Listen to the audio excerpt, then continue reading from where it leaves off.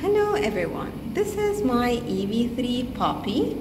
The puppy will choose randomly if he wants the toilet, home to sleep, or to eat some food.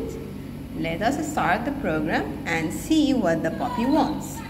Okay, in the beginning he wants to go to the toilet, so this is your toilet and you can do it now puppy. Is it enough?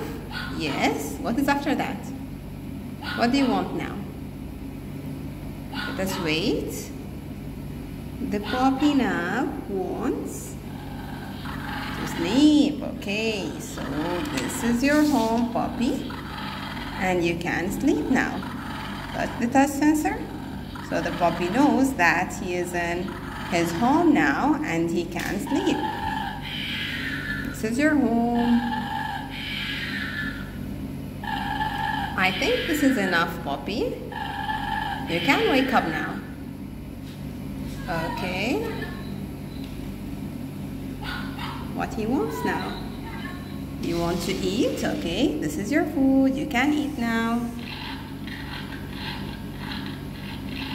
So this is my robot. The robot will act randomly and then you can do whatever he wants for him. So after food, he wants to sleep again. Okay, thank you very much. And let the robot sleep now for a while. Let us take a rest with him.